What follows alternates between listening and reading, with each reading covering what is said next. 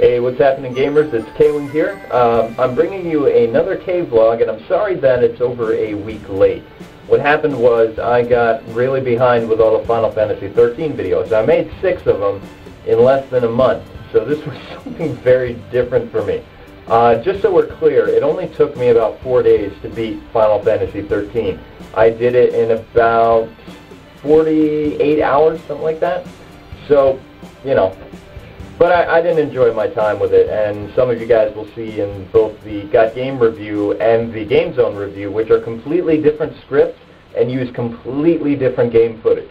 So if you guys want a different spin to see what Got Game gave Final Fantasy 13 or what GameZone did, they're both narrated by me, but they're completely different. In fact, I didn't even write the script for one of them.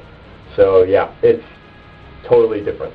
Anyway, guys, um, I'm coming you to today to talk about um, something that I did over at ScrewAttack that I thought some of the K fans would uh, really enjoy this. I actually did a interview, a long, fun interview. Um, you get to know the real me. I did it over at ScrewAttack to um, put myself more out there for the ScrewAttack community so they can get to know the person behind K-Wing. And honestly, I, I had a lot of blast doing it. It was fun. And uh, it took about two days to put together, but you know, Darkseid was amazing for doing this for me. And if you guys want to uh, find out more information about that, then go see, go read the interview. It's down there. YouTube's all messed up now, so I don't point here or here. I point down here now. So like, hello, comment section. Anyway, uh, what's on the docket for this week? Well, Final Fantasy XIII is done, dead, and buried, and I am so glad it's over. Uh, what's next on the docket is the Tournament Fighters review episode, which will release next week by the weekend. And then I will be, this week, I'll be working on a lot of the Game Knights TV pilot. And I actually got the storyboard back, and it, it is amazing. I mean, this is going to blow people's minds. It is awesome! Uh, I also wanted to thank your participation in doing the whole YouTube thing. What happened was, basically they ignored me. So, and every single comment that you guys wrote, uh, they gave an automated response saying, we don't answer questions about personal YouTube accounts or something. I appreciate the Legion for stepping in and trying to do something, but they're, you know, they're not going to listen to people. It's just not who they are. So, uh, I'm going to be forwarding a lot of traffic to my Blip account because, I mean, it just works so much better. And uh, if you guys are wondering what's the thing with the RealGameMaster.com, it's being redesigned and it will relaunch sometime in May.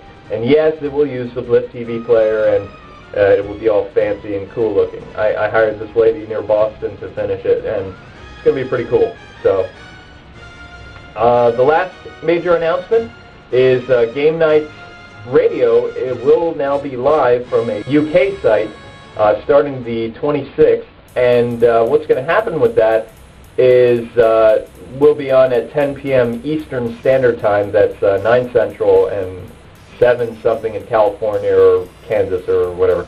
But, um, well, maybe not Kansas. I, I don't know the time zone.